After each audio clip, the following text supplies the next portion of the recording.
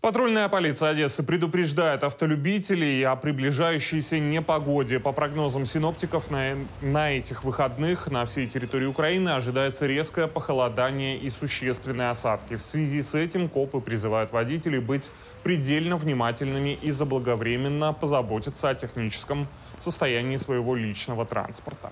Прежде всего советуем э, водителям в любом случае помнить о том, что уже осенний-зимний период – это мокрая, скользкая дорога и возможны заморозки. Поэтому замена э, шин на зимние в обязательном порядке для всех транспортных средств.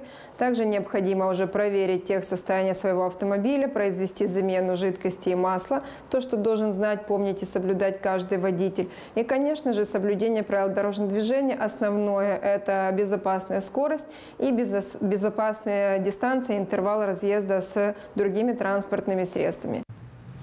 Как отметили в патрульной полиции, последние дни наблюдается увеличение количества дорожно-транспортных происшествий из-за неблагоприятных погодных условий, в частности, мокрой проезжей части. А также отмечу, что те ДТП, которые произошли за эту неделю, большинство из них именно произошли из-за того, что погода менялась. Это был дождь, это был туман и постоянно мокрая э, проезжая часть. И как результат мы можем сказать, что многие водители еще не, не переключились на режим вождения зимой.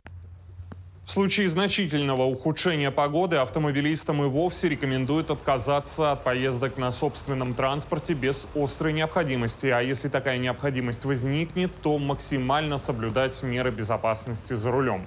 Еще раз напоминаю о внимании и соблюдении правил дорожного движения.